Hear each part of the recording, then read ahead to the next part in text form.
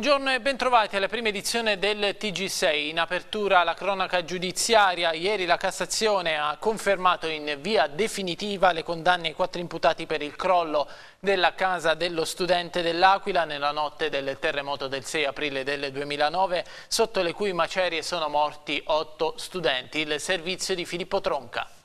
La casa dello studente dell'Aquila era un castello di carte, un edificio pericoloso ad altissimo rischio crollo in caso di terremoto, come poi fatalmente avvenuto la notte del 6 aprile 2009, causando la tragica morte di otto studenti. E nessuno dei professionisti avvicendati a restaurare l'edificio costruito nel 1965 ha predisposto interventi di consolidamento necessari, agito per garantire la sicurezza di chi ci viveva.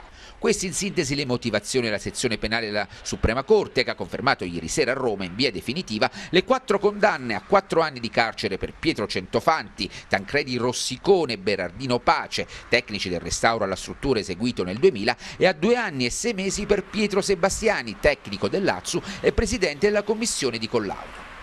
I reati sono quelli di omicidio colposo, disastro e lesioni.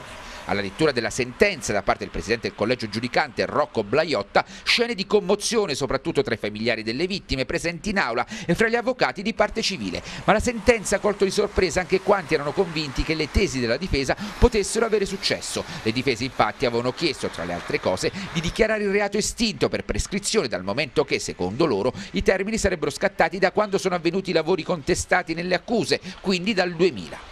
Passaggio decisivo la relazione del giudice Daniele Cenci, che ha citato ancora una volta ampi stralci della relazione tecnica del perito del GUP, la professoressa Gabriella Mulas. Il terremoto del 6 aprile, ha ribadito Cenci, non poteva da solo costituire la causa del crollo, determinato invece anche dalle gravi deficienze strutturali e da plurimi elementi di appesantimento dopo i vari interventi di ristrutturazione. Inoltre gli edifici intorno non a caso sono rimasti in piedi. E aggiunto Cenci, sarebbe stato sufficiente leggere anche solo la prima pagina del progetto del 1965 per capire che l'edificio così come era progettato non poteva garantire la sicurezza. Toccanti al termine dell'udienza le parole di Lilli Centofanti che nel crollo ha perso il fratello Davide. Non è morto andando in guerra, non è questa l'università, è morto facendo il suo dovere e non è giusto. E ha aggiunto Anna Maria Cialente, mamma di Francesco Esposito, altra vittima. I nostri ragazzi non ci sono più, il dolore rimarrà tutta la vita, non c'è somma che ce li riporterà a casa, ma almeno hanno avuto giustizia, ha detto asciugandosi le lacrime. Fosse comuni dove venivano gettati suini morti e quasi 20.000 metri cubi eh, di reflui ehm, che sarebbero bastati a riempire 50 piscine olimpioniche. La forestale ha sequestrato un allevamento intensivo di suini a Capitignano in provincia di L'Aquila eh, che gestiva illegalmente tutta la filiera dei prodotti. Eh, L'impianto zootecnico aveva una potenzialità di gestione di 4.500 suini e operava senza le necessarie autorizzazioni ambientali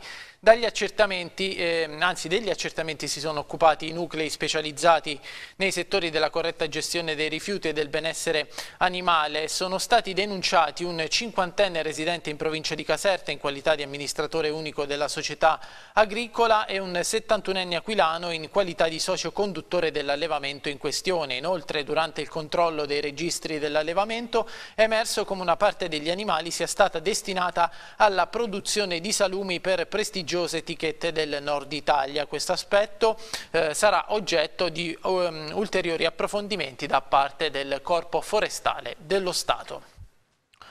Oggi al Tribunale dell'Aquila interrogatori per il numero 2 dell'Agenzia delle Entrate di Pescara Giovanni Imparato e per il commercialista Paolo Lavalle arrestati martedì scorso per un presunto giro eh, di mazzette proprio eh, all'Agenzia delle Entrate. Vediamo. Uh, guardi, eh, fino a quando non si leggono tutte le carte nella loro interezza, eh, farsi idee sarebbe il più grosso errore che ci può essere sulla faccia della terra.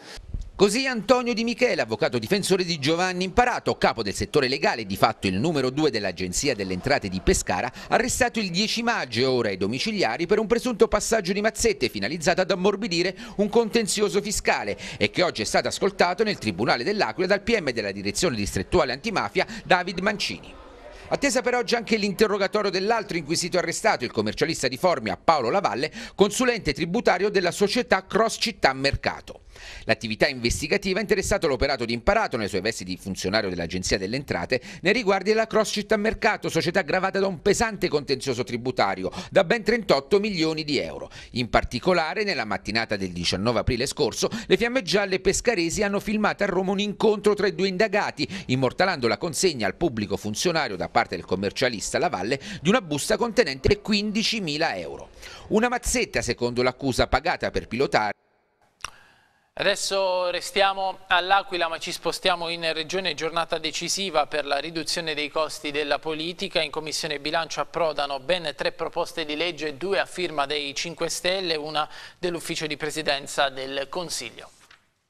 Arrivano oggi in prima commissione bilancio della Regione ben tre proposte di legge che prevedono la riduzione di vitalizi e indennità ed anche addirittura la cancellazione secca del doppio vitalizio per consiglieri ed ex consiglieri.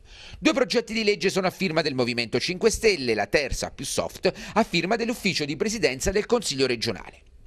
Il Movimento 5 Stelle propone con un primo PDL presentato da mesi la drastica riduzione dell'indennità dei consiglieri regionali e la riduzione dei vitalizi ancora in essere che costano ai contribuenti 4,2 milioni di euro l'anno. Con una seconda proposta ispirata da una legge già approvata alla Toscana, il Movimento 5 Stelle prevede poi addirittura la cancellazione to cure del doppio vitalizio per chi è sia ex consigliere che ex parlamentare. No, non è un diritto acquisito e in più eh, ci sembra giusto che chi gode di doppio vitalizio, ovvero perché ha lavorato in uh, differenti uh, sedi istituzionali, scelga il vitalizio che preferisce. Non vedo motivi per una cumulabilità che tra l'altro sulle pensioni non c'è. Allora, la nostra proposta per il dimezzamento dello stipendio prevede che eh, ci sia una decurtazione consistente, in realtà non si tratta di un vero e proprio dimezzamento to court, ma comunque sia eh, la realtà è che poi il netto sarà eh, la metà di quello che attualmente prendiamo. Crediamo che probabilmente non sarà accolta dal, dal Consiglio regionale perché eh, è una proposta che eh, sostanzialmente eh, penalizza un po' tutti. Questo però è eh, un passo fondamentale per quello che riguarda eh, l'equità sociale. Più mite invece la proposta di legge dell'ufficio di presidenza del Consiglio, sostenuta da maggioranza di centro-sinistra e opposizione di centrodestra, e che propone la riduzione del 10% di tutti i vitalizi per un periodo di tre anni a titolo di contribuzione alla grave crisi economica, con una maggiorazione del taglio fino al 50% per coloro che godono anche di un doppio vitalizio. La crisi al comune di Teramo riserva altri colpi di scena dopo le dimissioni dell'assessore Giorgio Di Giovangiacomo di Al Centro per Teramo. Ieri eh, nella serata Futuro In, la civica capitanata da Paolo Gatti, con un comunicato annunciato le dimissioni dei suoi quattro assessori all'interno della giunta guidata dal sindaco Brucchi. Hanno rimesso le deleghe nelle mani del primo cittadino Piero Romanelli, Rudi Di Stefano, eh, Francesca Lucantoni ed Eva Guardiani guardiani, lasciando vacanti gli scranni della pubblica istruzione, delle manutenzioni del patrimonio, della cultura e delle finanze. Deleghe pesanti per una mossa a sorpresa volta a passare il cerino della crisi nelle mani del sindaco, riaprendo il discorso legato alla verifica di giunta. Dunque, eh, giunta dimezzata, mentre gli assessori di NCD hanno confermato al sindaco di essere disponibili a continuare a svolgere l'attività amministrativa accettando ulteriori eh, deleghe. Eh, la scelta di Futuroin ha incassato l'appoggio di Al Centro per Teramo che aveva aperto la crisi di maggioranza Uh, mentre il sindaco per il momento ha scelto la via del silenzio. Questo pomeriggio alle 16 è stato convocato il Consiglio Comunale che eh, ratificherà la cittadinanza onoraria scusate, per Marco Pannella, consiglio che potrebbe trasformarsi in un confronto acceso proprio su quanto sta accadendo in queste ore all'interno della giunta Brucchi. Cambiamo argomento, a Pescara studenti e professori in piazza per protestare e dire no ai test invalsi e a chiedere una nuova didattica. Paolo Renzetti. Oggi c'è questa raccolta di firme, questo banchetto in piazza Salotto a Pescara, boicottiamo i test invalsi, perché? La lotta contro gli invalsi è parte di questa eh, lotta per affermare questo tipo di scuola, una scuola che non sia discriminante, una scuola che sia unificante, che non divida i buoni dai cattivi ma che lotti e che si spenda quindi nell'insieme affinché sia una scuola nell'insieme di qualità, perché non può esserci una scuola buona e una scuola cattiva, deve esserci una scuola buona, una scuola che deve diventare buona e quindi noi oggi siamo in piazza per protestare contro i quiz invalsi, ma per protestare contro la logica di dividere le scuole tra buone e cattive. Se noi riteniamo che i quiz invalsi li chiamiamo quiz eh, o indovinelli perché non hanno nessuna base didattica, eh, sono molto arbitrari, presumono di essere uguali quando le classi sono differenti, i programmi sono differenti e quindi riteniamo che, de che debbono essere non solo boicottati, perciò siamo oggi come insegnanti come corpo docenti in piazza a scioperare. Oggi eh, noi studenti siamo in piazza assieme agli studenti di tutta Italia eh, per boicottare i test invalsi, li boicotteremo sia all'interno delle scuole lasciando il test in bianco che eh, in questa eh, manifestazione proveremo a trovare delle alternative a questo modello di didattica e valutazione che non riteniamo più adatto perché siamo stanchi di essere classificati e messi in competizione da, da una valutazione numerica, riteniamo che serve una valutazione narrativa e come questo riteniamo non più adatto anche eh, l'attuale modello di eh, didattica frontale. Inoltre siamo qui in piazza anche contro l'atteggiamento repressivo di molti dirigenti scolastici, in primis quello del Misticoni Bellisario dove sono stati sospesi oltre 150 studenti e anche al Volta dove sono stati minacciati di eh, ritorsione gli studenti che avrebbero boicottato i test invalsi. Siamo qui eh, anche per sostenere i referendum sociali contro le tre principali riforme eh, antidemocratiche del governo Renzi. Oltre mille pensionati abruzzesi saranno il 19 di maggio a Roma per chiedere più risorse per l'invecchiamento della popolazione. Giovanni Orsini, eh, Will regionale, quali sono i motivi di questa manifestazione del 19 maggio a Roma? Ma noi pensionati abbiamo una cosa da rivendicare, i nostri diritti e la nostra dignità. Questo governo la calpesta, l'ha calpestata e, la, e seguirà a calpestarla. Vedete quello che sta succedendo sulla riforma della legge eh, Monti-Fornero, tutti quanti dicono la vogliono cambiare e nessuno la cambia. Purtroppo per voi giovani, per i giovani sarà dura perché non avranno né un futuro lavorativo ma nemmeno un futuro previdenziale. Quindi noi lavoriamo per questo e andiamo in piazza eh, circa 1100-1200 pensionati d'Abruzzo, 23-24 pullman per rivendicare queste cose. 360.000 circa pensionati che ci sono nella nostra regione, dell'Inps eh, possiamo dire che l'80% sono pensioni al minimo, per non parlare quelle anche al di sotto degli assegni sociali e quant'altro. Quindi eh, noi nella manifestazione vogliamo ribadire la necessità di un intervento forte per eh, rimettere al centro il problema della dignità dei lavoratori pensionati e dei pensionati perché questa crisi, tra le cose che ha prodotto, ha prodotto un grande impoverimento e un grande disagio sociale, a cui bisogna fare assolutamente eh, dare rimedio. È importante questa manifestazione unitaria perché ci permette di poter riprendere un dialogo forte non solo tra di noi ma soprattutto nelle parti sociali con il governo affinché il governo decida finalmente di ascoltarci e di trattare, di riprendere un tavolo di trattative che noi in questi ultimi mesi non abbiamo avuto. La legge Fornero deve essere cambiata, non è più possibile pensare che si vada in pensione a 70 anni e i nostri giovani saranno sempre disoccupati se le pensioni continueranno ad essere così alte. Le associazioni ambientaliste contestano una legge regionale che consente attività cinofile e cinotecniche all'interno del parco velino sirente e di altre riserve naturali andando così a disturbare le specie protette. C'è una legge regionale che permette oggi gare eh, cinofile, addestramento di cani all'interno di parchi e di aree eh, protette. Voi oggi protestate e chiedete alla regione un passo indietro. Sì, ehm, questa legge arreca notevole disturbo alla fauna in un periodo, eh, diciamo, durante eh, quei mesi che sono eh, esclusi dal calendario venatorio, quindi c'è un disturbo eh, diciamo, perenne alla fauna. Per quello che riguarda ehm, la fauna protetta, in particolare l'orso marsicano, eh, questo disturbo si andrebbe a verificare eh, in quelle aree come le riserve regionali del Parco regionale Sirente Velino che sono indicate come aree di espansione della specie. La specie sta gradualmente ricolonizzando i territori storici e attraverso questo processo di ricolonizzazione eh, noi eh, riponiamo le speranze per la sopravvivenza eh, dell'orso marsicano, quindi una regione che si freggia dell'orso come simbolo e poi di fatto lavora contro eh, l'orso e contro il PATOM che è un piano d'azione che prevede la tutela dell'orso e soprattutto di queste aree periferiche ma anche eh, vitali proprio per la specie.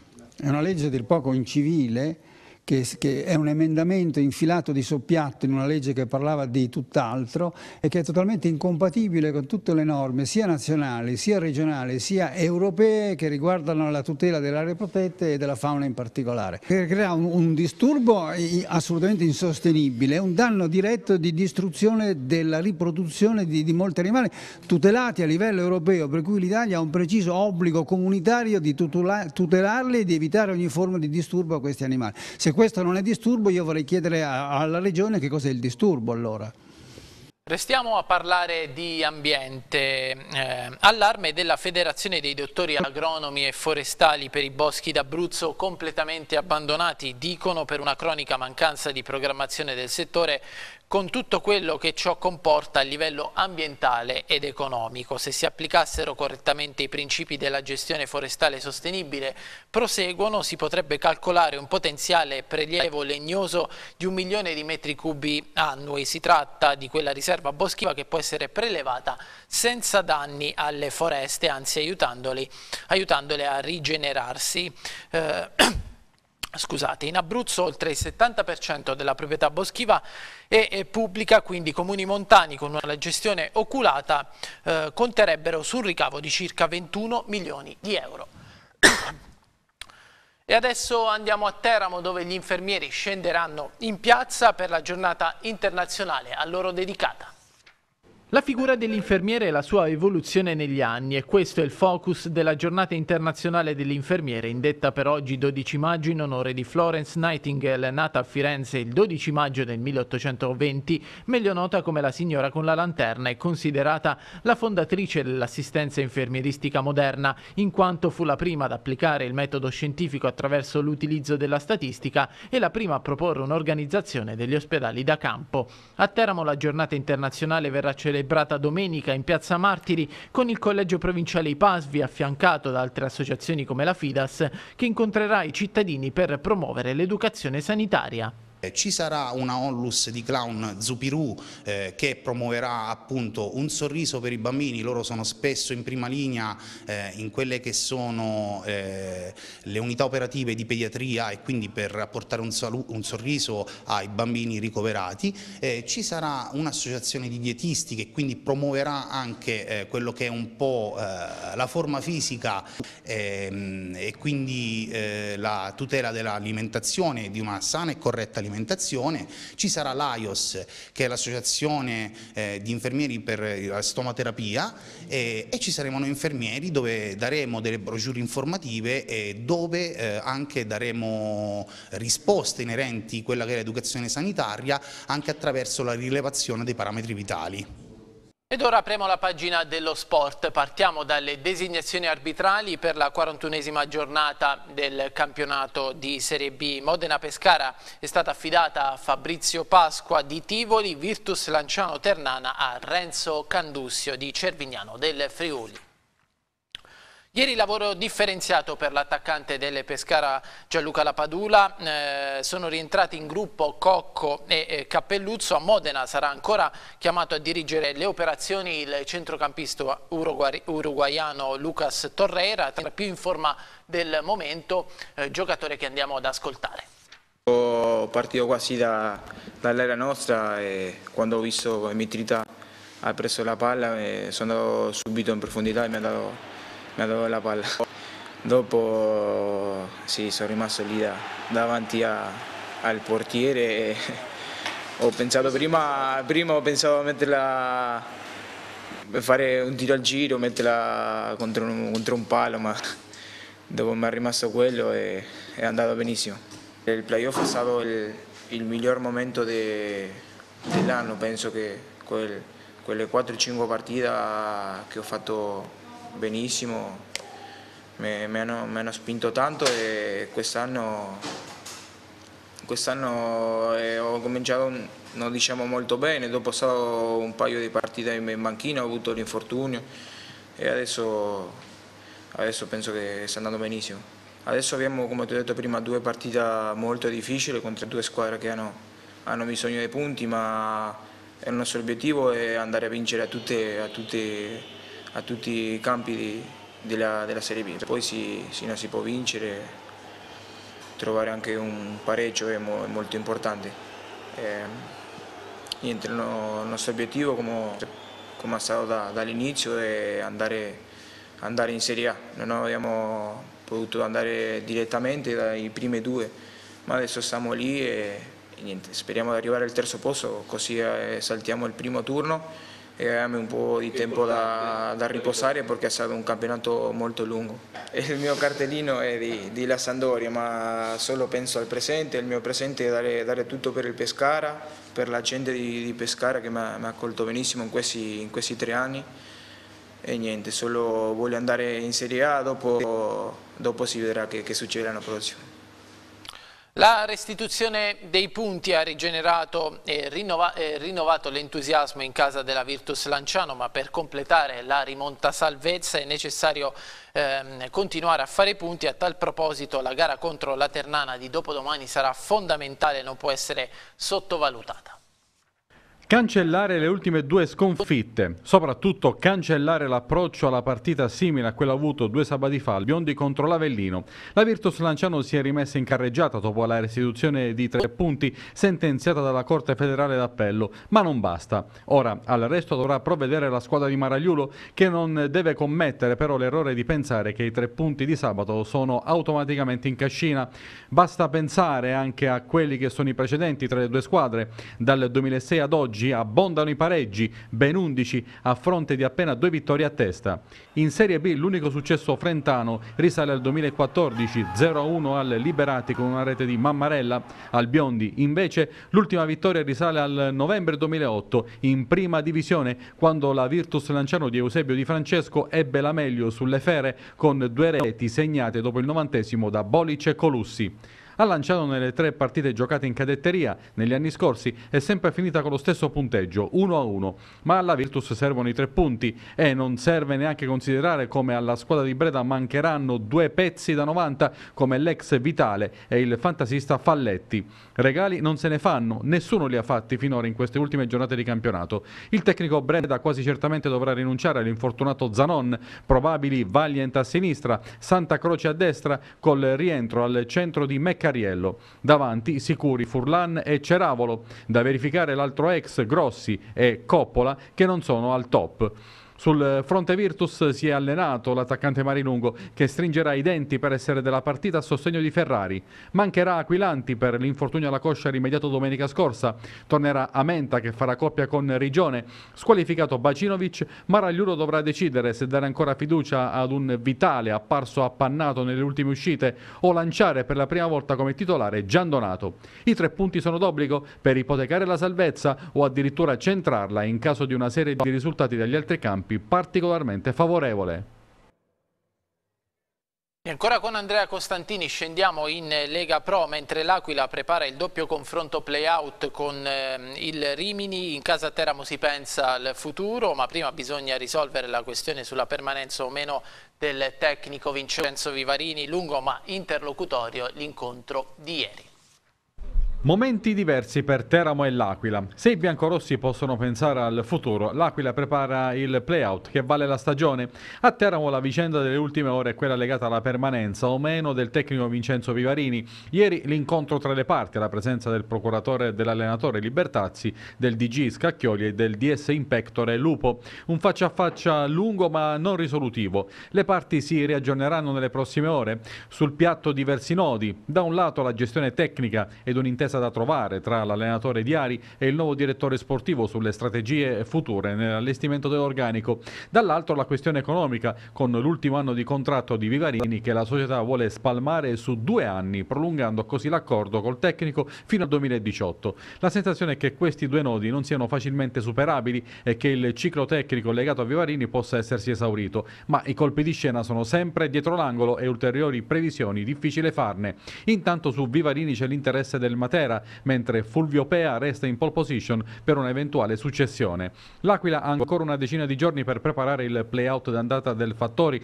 contro il Rimini del prossimo 21 maggio. Dopodomani i rossoblù effettueranno un test contro la Berretti. Il tecnico Carlo Perrone deve fare i conti con le assenze praticamente certe del difensore Sanni e del centrocampista Boulevardi che salteranno il play-out. Al pari di San Domenico, fuori per squalifica a meno che non vada a buon fine il ricorso presentato dallo stesso calciatore.